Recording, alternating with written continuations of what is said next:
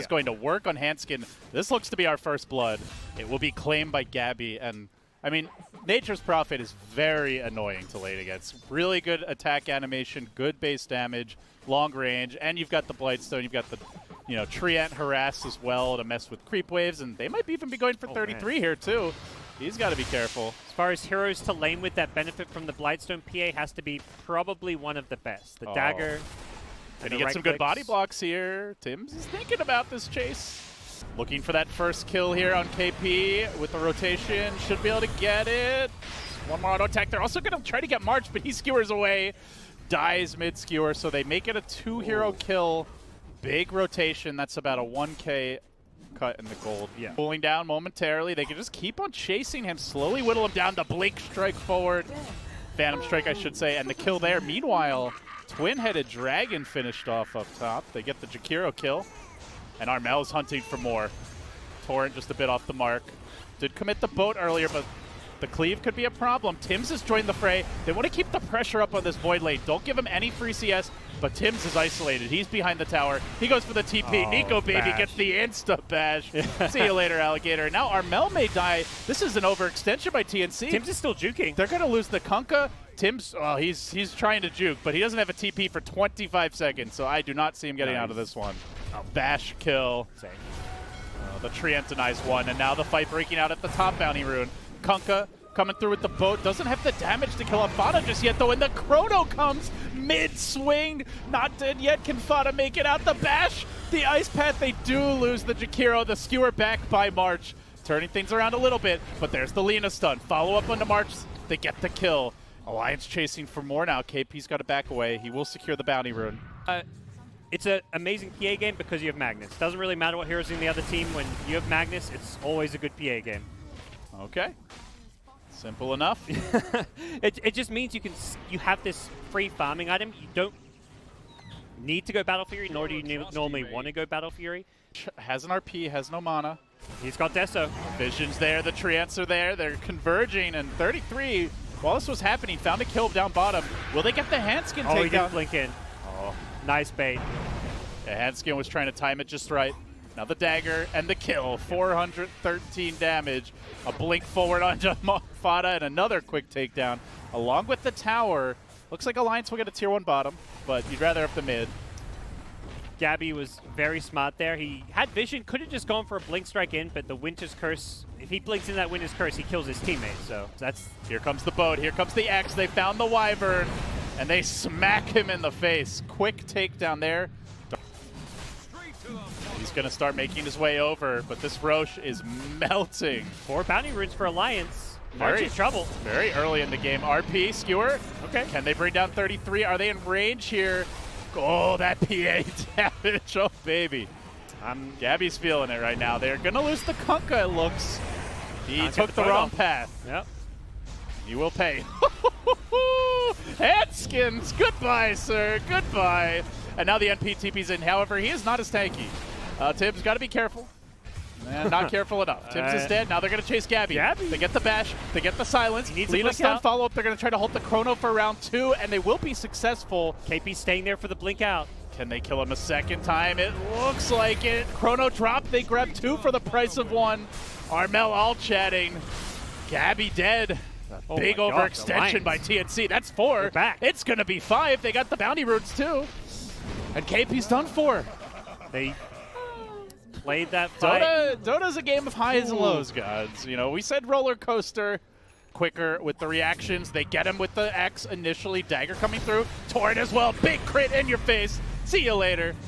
Gabbi brings him down. Now the Oh. RP! March, he catches up too. He's got almost no mobility, but doesn't need it. What a play by March.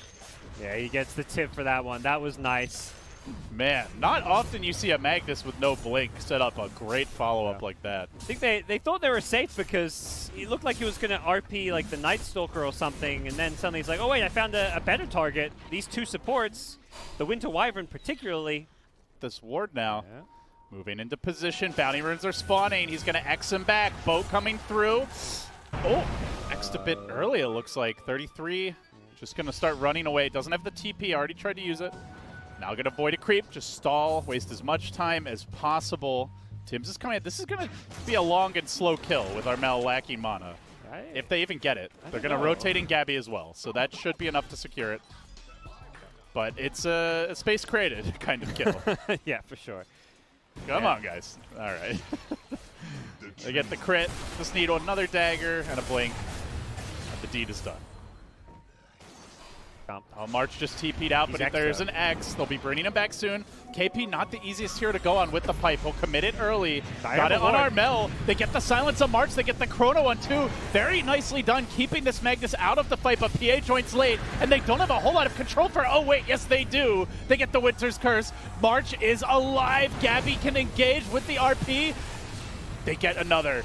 Running down BKB. 33. Now chasing for Handsken. The Sprout is there. Nikobaby could be in a lot of trouble. Phantom Strike available. Winter go Wyvern down. And they're going to find Lip too. It's going to be four heroes. The buyback comes through on the Wyvern. He may die again if he's not careful. No crit this time, but Gabbi's diving deeper. He's committing onto Nico, baby. A thousand damage with that crit. Keeps on chasing, keeps on diving. Give me a crit. Give me a crit. There's your crit. Gets the kill. Oh. Gets another. And it might be another. Night Stalker about to fall. Gabbi slices them all to bits.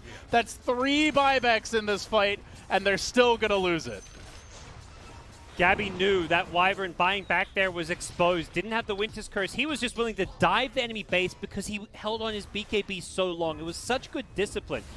Gabbi could have BKB'd right at the start of that fight. It might have helped out like his Magnus who died in the Winter's Curse, but ultimately the fact he held on to that BKB allowed him to just crush this fight. And TNC will get racks as a result, looking like they'll get multiple lanes as well. TNC with the rotation towards mid. They can see that top six finish just over the horizon. An alliance with no chrono. How do they defend? They'll need a godly Winter's Curse.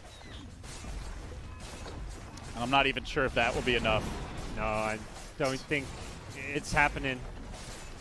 TNC, the way they've won too with unconventional drafts. You know, some things we've seen from other teams, but also very much, you know, pushing the boundaries, finding counters to the Night Stalker, showing that, you know, you don't have to stick with the quote unquote meta picks to win. Yep. Oh, the positioning here is so tough to fight into. It's going to be Kunkka who goes in first. Glimmer Cape, jump away. Magnus RP, waiting for it. He Oh, gets stunned off the bat. He gets Laguna off the bat, and he is done for. But the boat comes in. Gabbi engaging, backing out, playing it safe, looking for those insta kills. Doesn't get Fada, jukes away from the Lina stun. The moves by Gabbi. Gets one, gets two. Now looking for 33. No Wyvern buyback. No Jakiro buyback. 33's isolated. Stalls, spamming the RP. It's a light show for TNC.